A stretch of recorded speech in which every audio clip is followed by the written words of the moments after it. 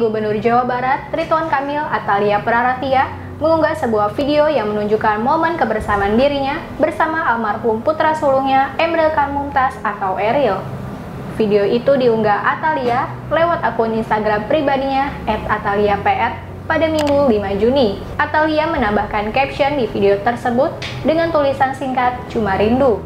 Dalam video itu terlihat Atalia dibonceng Eril dengan motor Royal Enfield di kawasan Bandung. Video itu disertai dengan latar musik.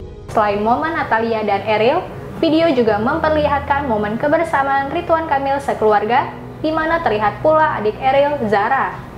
Mereka tengah bermain bersama di sebuah taman di tengah hutan. Keceriaan tampak di wajah mereka dalam momen tersebut.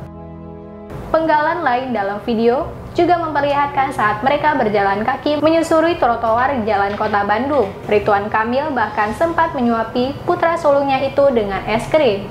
Unggahan itu pun banyak mendapat respon warganet, termasuk para artis yang terus mendoakan agar Ibunda Ariel Atalia Praratia selalu kuat dan sabar menghadapi ujian ini.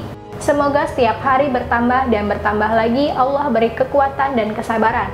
Sehat selalu Kang Emil dan Teh Lia. Tulis artis Sintami Atpanegara. Semoga semakin dikuatkan ya ibuku sayang, peluk sayang. Tulis Edis Adelia.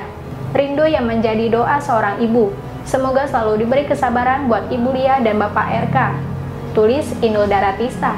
Kirim doa dari jauh agar ibu sekeluarga selalu diberikan kekuatan. Tulis Ersa Mayori.